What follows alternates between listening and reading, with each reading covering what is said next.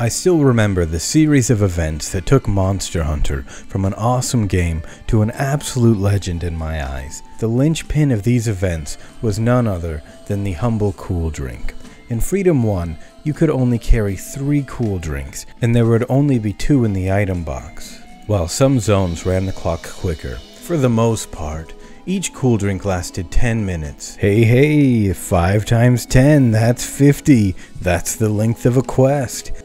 And because of the high difficulty and obscurity of the games, all of my friends and I who played back then would run out of time on several quests even in low rank. But when you cart, which we did, often and loudly. Every bit of leftover time that your cool drink had gets taken away. So if you cart shortly after drinking a cool drink, then that's nearly 10 minutes that your health will be ticking away at the end of the quest. Do that twice, and depending on the quest, then there's a good chance you should just abandon and start over. Thus, on challenging quests, we all got in the habit of trying not to drink our cool drinks until we had found or paintballed the monster. Because that red health was recoverable. And every time we drank one, we would get extra focused and play a bit more cautiously for a few minutes, doing our absolute best not to trip up and cart. Then, we would turn up the aggression as the clock went on to be sure we did enough damage. And if viable, like when chasing after a monster, we would wait to drink the next one. I was dazzled at how much the humble little cool drink made me think and feel, it was crazy that such a simple little item could dictate the aggression and pace of the hunt. It had a tangibility that video game items seldom have. I had touched the stove by treating my cool drinks frivolously, and I paid for it with an agonizing defeat of watching my health and healing items slowly tick away on a long, hopeless quest. But once I treated Monster Hunter with the respect that it deserved and adopted these habits, it felt surreal to see myself exist in these hostile environments longer than I had ever done so before. I have never been the most technically talented gamer, if you will, but the feeling that I could progress in this brutally difficult world by thinking and rationing and adapting to the environment rather than simply learning to dominate it was so incredibly exciting. And then Freedom 2 released, and it was amazing, but you could carry an additional two cool drinks, making all of this irrelevant. And then came World, with unlimited restocks and the exact ingredients that you need to survive in hot areas growing just outside their entrance, replacing all that forethought, fear, and pride with the numbness of convenience. This, combined with carefree expeditions, the figurative and literal taming of small monsters, much more player-centric flora and fauna, and the overall decrease in difficulty has left Monster Hunter's maps feeling more and more like carefree backdrops, rather than dangerous environments and meaningful settings that impact your story which is fine for most players, but for some of us, Monster Hunter shines when its difficulty is pushed to the point where it tests the limits of us and its systems. Because overcoming difficulty is the foundation from which many of us derive meaning from our games. I was captivated by Monster Hunter because it felt so serious and different from other games. It was the greatest feeling survival game I have ever played because its on and off tension created from the village quest, village quest loop made it so that once you were in the village, you didn't have to worry about repairing weapons or armor, or curing ailments or diseases, or a constant timer for stamina, food, health, or drinks. But then on the quest, these mechanics can be pushed to the point where they have a serious effect on gameplay. And in most games, if I grinded the optional content before a required boss, then that fight would be trivialized. But in early Monster Hunter, most of the time I would make the best gear and gather the best items and fail over and over again until I had learned what was necessary to win, and the feeling that every ounce of my effort went into winning is what made Monster Hunter so worth my time, attention, and money. I truly, truly don't want to say this, because I don't want to belittle anyone's struggle, and I respect Capcom so much. But there wasn't a single quest in World Arise at launch that was worth my time or money. I had put hundreds of hours into Freedom 1 before Freedom 2 released, So when it did, I strutted in with so much confidence, using unoptimized weapons and armor, stressing less about preparation, and trying flashy new weapons. But it didn't take long for me to scurry off back to my main and optimize everything because Freedom 2 did not feel like a toy for me to play with. It felt like I was a toy for it to play with.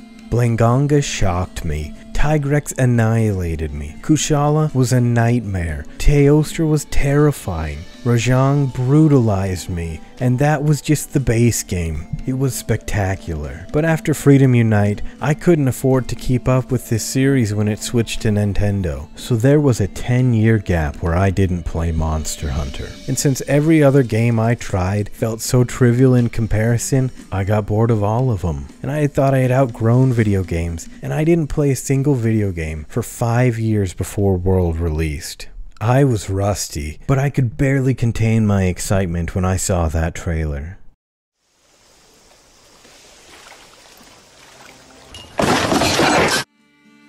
I was done with school and had a roommate with an Xbox. But then it released, and there wasn't a single monster that took me more than two tries. I was dumbfounded by how little I felt.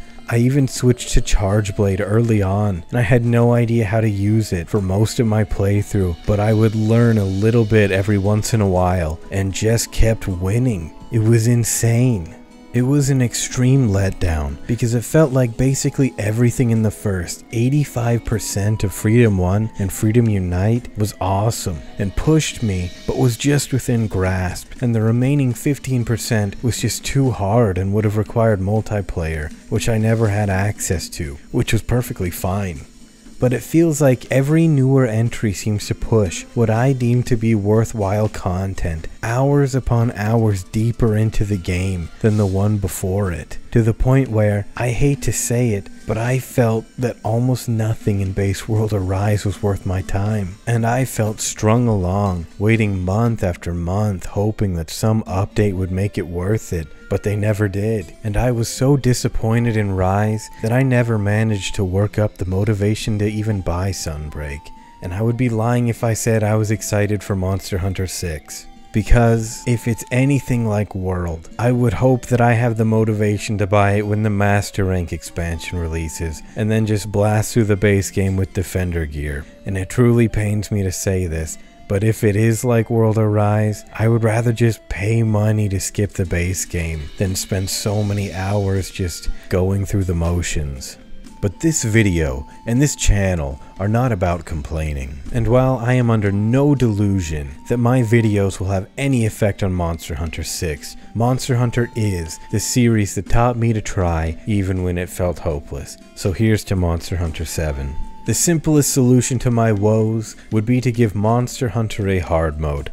A survival mode, if you will. It feels strange to ask for this because something that I loved and respected about Monster Hunter that set it above so many other games was that it was so hard and I didn't have any power to change its difficulty, which back then I absolutely would have to the detriment of my enjoyment and respect for the game. But that's irrelevant now and the devs could basically do whatever they wanted in that direction, and as long as it was listed as the tougher version, I would trust them. But to throw out some really basic ideas, my biases would like to get rid of restocks, limit the player's item space and the amount of carryable items, limit multiplayer to two or maybe three people outside of sieges, and most importantly, look at every monster, see what defines them, and just turn it up. Maybe some hit harder, maybe some get more health, maybe some make you bounce more, maybe some get worse status effects,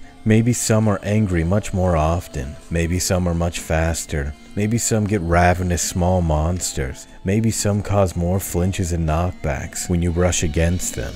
Doesn't matter how miserable it makes me. It just needs to make us and them feel alive. It could even be released months after the release and be called something like The First Hunters of Kamura, for example. While a hard mode would be the simplest solution, I also like to daydream about adapting players to Monster Hunter rather than adapting Monster Hunter to players. And I'm sorry if that sounds condescending, but I don't really know how else to say it. To do this, I think there would need to be three things. One, there should be no attrition at the beginning of the game to lure them in. Two, the gradual introduction of attrition mechanics should be engaging and well communicated. For an example, you could watch my first video about one way to redo potions. All of the important bits to all of my videos are capitalized in the timecodes, so it's easy to just skip to those parts.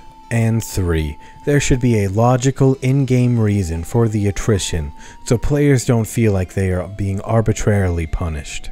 Two possible scenarios of an in-game reason to justify attrition are 1.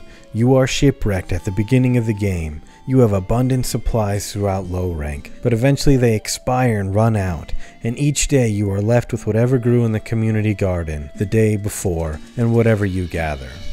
Or 2. The game has less maps, but tiers to each one. For example, a jungle where everything operates the same as world, with base camps and unlimited restocks, meals, and unlimited access to swapping gear. Then a deep jungle, where you can only pack one other mix set, and have the option to send your palico home to get items or gear, at the cost of not having your palico for a few minutes leaving you exposed to the small monsters that they usually defend you from. And lastly, the Forbidden Jungle, where you must pay to travel so far, and can only pack one other mix set. You cannot send your Palico home, and the loading screen into the quest could show any of a myriad of clips from random encounters you could possibly have on your journey, like getting attacked by various small or large monsters, having your cart break down, getting mugged by cats, helping out injured hunters, speaking to a veggie elder, taking a wrong turn and getting lost, seeing a beautiful view,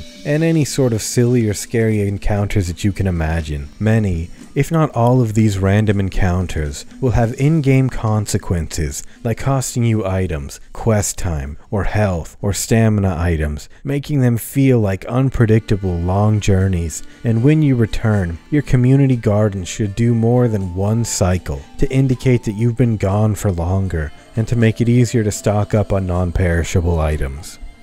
Now all of that was about the importance of difficulty and attrition, but to tie it all back to the cool drink, an additional idea to make the temperature of the maps feel more meaningful would be to tie temperature to armor pieces. I have heard other YouTubers say this before, but they speak about temperature ratings like X zone has a 2 star cold level and Y zone has a 3 star cold level. And while I would prefer this over what we've got, a system that would be better at creating tension would be one where different armor pieces offer different amounts of minutes of protection. Thus, you would look at the quest beforehand and say, I think I can do this quest in 15 minutes, and grab armor pieces that add up to that. This would create an alternate self-set timer, where the player would be in a tug of war between better armor skills and longer lasting temperature resistant gear. Then hot and cool drinks could be expensive items that only last a few minutes and are meant to act as a supplement to armor, if they need to exist at all. And fire and ice mantles could somewhat replace the cool drink's function of dynamically setting the level of caution or aggression you put into the fight, by making it so that your hot or cold timer doesn't count down when they are equipped, but once you've taken enough damage they'll break and need to be repaired. I've also re-envisioned the consequences of being cold, but I'll save that for another video. Consider subscribing if you're interested in more Monster Hunter video game ideas. There's plenty more to come.